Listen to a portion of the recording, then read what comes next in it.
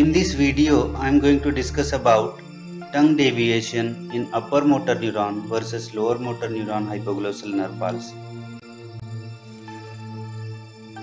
Hypoglossal nerve supplies all the intrinsic and extrinsic muscles of the tongue except the palatoglossus and possibly the geniohyoid muscle. Suppose this red symbol indicates all intrinsic and extrinsic muscles on the right side of the tongue and this green one indicates all the intrinsic and extrinsic muscles on the left side of the tongue. And suppose this red symbol indicates right-sided genioglossus which after contraction causes deviation of tongue to left side and this green symbol indicates left-sided genioglossus muscle which after contraction causes deviation of tongue to right side.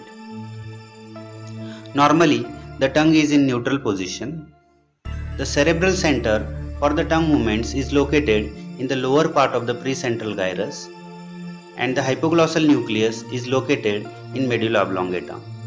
Suppose the smaller cube indicates the nucleus for genioglossus and the larger cube indicates nucleus for all other intrinsic and extrinsic muscles of the tongue.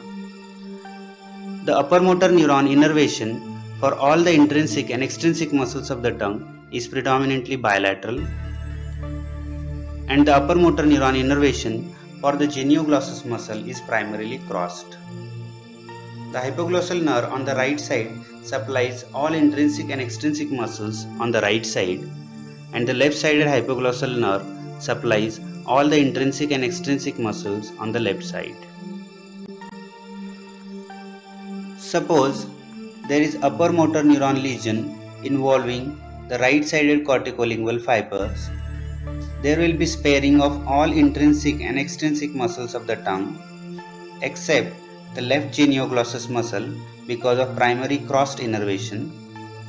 The right genioglossus muscle will be normal, hence it will lead to deviation of tongue towards the left side.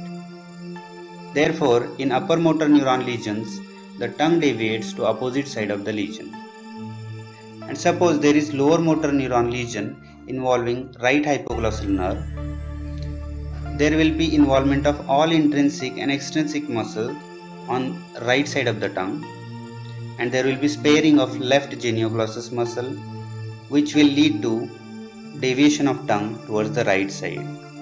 Therefore, in lower motor neuron lesions, the tongue deviates to same side of the lesion on protrusion and at rest it may deviate or curl slightly toward the healthy side because of unopposed action of the styloglossus which draws the tongue upward and backwards.